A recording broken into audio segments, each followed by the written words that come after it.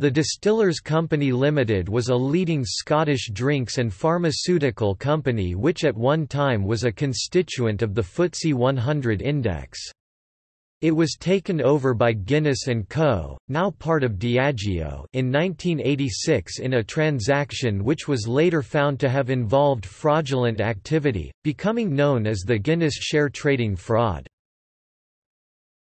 Topic history The company was formed in 1877 by a combination of six Scotch whisky distilleries, Macfarlane & Co., John Bald & Co., John Haig & Co., McNab Bros & Co., Robert Mowbray and Stewart & Co. This company was born out of a trade association called the Scotch Distillers Association formed in 1865. It combined with John Walker and Son and Buchanan Dewar in 1925.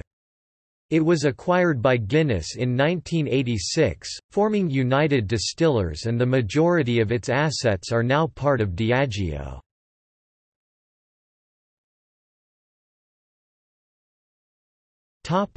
Pharmaceuticals From 1942, Distillers Biochemicals DCBL operated an agency factory of the British Ministry of Supply manufacturing penicillin in Speke. The plant was one of the first two factories in Europe to produce penicillin. Following World War II, DCBL purchased the facility for approximately $4 million. Distillers was also responsible for the manufacture of the drug thalidomide in the United Kingdom. Thalidomide had been developed by Grunenthal with whom, in July 1957, DCBL signed a 16-year contract to market the drug. DCBL ordered 6,000 tablets for clinical trial and 500 grams of pure substance for animal experiments and formulation. Thalidomide was marketed in England under the name Distaval, beginning on April 14, 1958.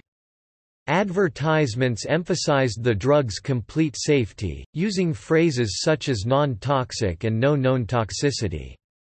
Later, the thalidomide was marketed under the names Asmaval, Tensival, Valgis, and Valgraine and found to cause nerve damage and malformations in births. The Speke site, also known as Speke Operations, was eventually sold to Eli Lilly and Company in 1963.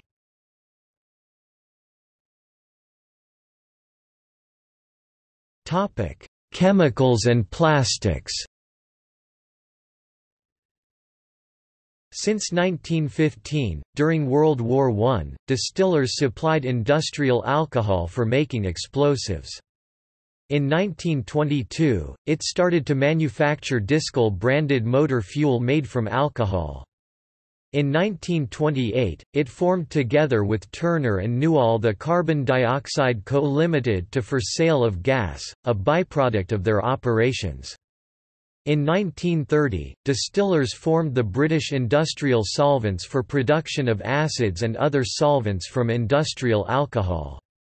In 1933, it formed Gyproc Products which was sold to British Plaster Board in 1944. In 1937, distillers acquired British Resin Products. In 1939, it acquired a controlling stake in commercial solvents and 50% interest in BX Plastics, which full control was acquired in 1961. It followed by getting 48% shareholding in F.A. Hughes & Co., in 1941 and taking the full control in 1947.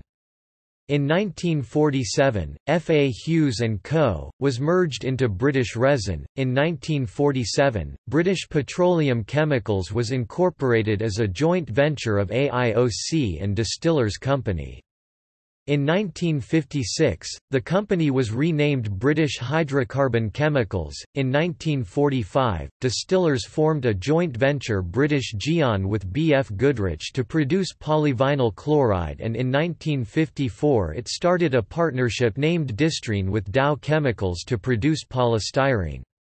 In 1955, it took full control of Magnesium Elektron. In 1967, BP acquired chemical and plastic assets of the Distillers Company which were merged with British hydrocarbon chemicals to form BP Chemicals.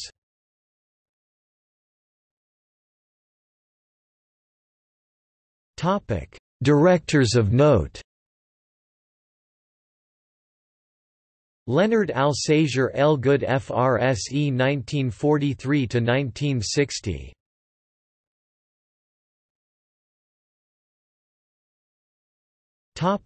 See also Pharmaceutical industry in the United Kingdom